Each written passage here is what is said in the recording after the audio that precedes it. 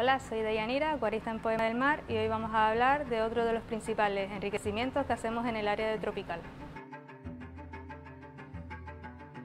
En cocina elaboramos una mezcla de gelatina compuesta de espinaca y suplementos vitamínicos como la espirulina y la cantasantina. Posteriormente atamos los corales a una cuerda junto con algunos trozos de vegetales previamente cortados. Este procedimiento se realiza de lunes a domingo.